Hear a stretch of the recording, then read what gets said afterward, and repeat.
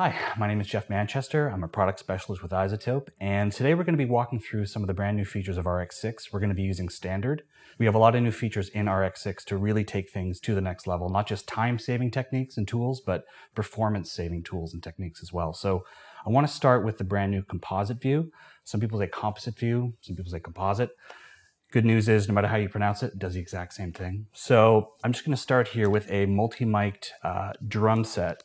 So if I go through, you'll see that we have uh, kick in our first tab, overhead left, overhead right,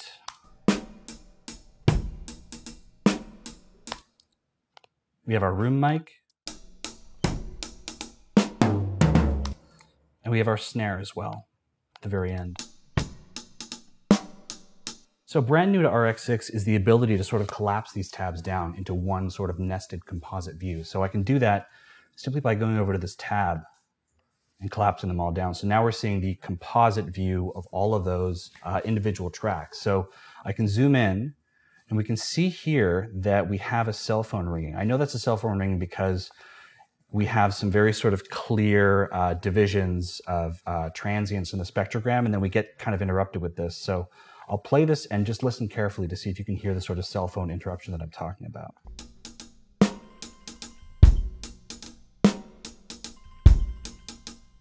play that one more time.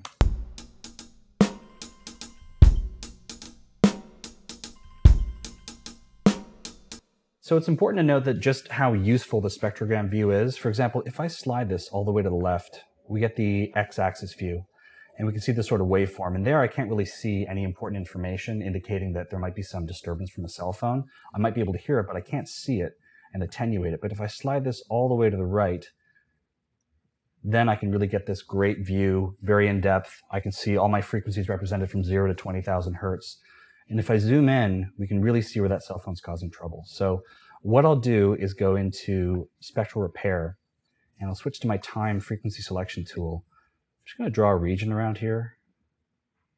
Really highlight this. And uh, I've got a drum attenuation preset selected here. So what I'll do is just adjust my weighting here. And then I'll press process. So what I'm doing is I'm trying to fade the information that we see interrupting this drum pattern, that cell phone. I'm trying to fade that into the background, make it less noticeable, attenuate it basically. So I'll press process.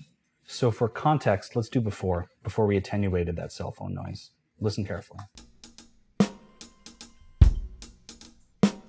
And once again, here's after we attenuated it in composite view with spectral repair.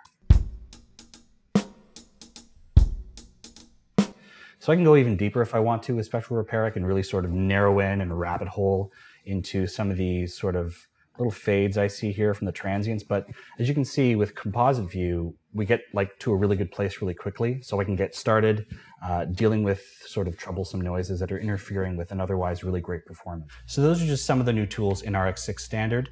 To find RX6, head to Reverb Sync.